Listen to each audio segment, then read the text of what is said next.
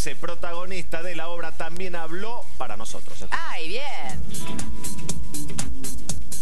Bueno, a mí me emociona mucho volver al teatro después de tantos años. Este, estoy muy contenta. Estoy fascinada con, la, pieza también, porque... El la, la, clave de esta, de esta pieza? ¿Con qué se va a encontrar el público?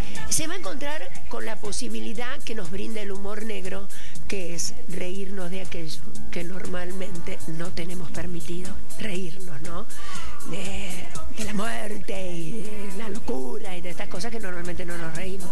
Y está tan magistralmente escrita por, por Dalmaroni y es muy difícil de hacer porque como es tan jugoso todo, es hay que hacerla con mucha concentración, con mucho respeto por lo que está escrito, porque donde pati, porque te tienta a patinar, o sea, a morcillar, a decir cualquier batata y te vas porque este, viste esas piezas que no le sobra un punto ni una coma, bueno, esto es así.